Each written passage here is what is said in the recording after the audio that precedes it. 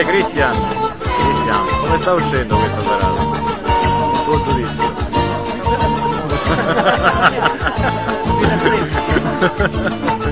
Sta pure vento, fa caldo quindi.